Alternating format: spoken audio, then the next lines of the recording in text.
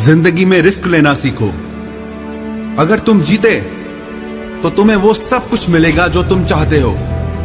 और अगर तुम हार भी गए तो बहुत कुछ सीख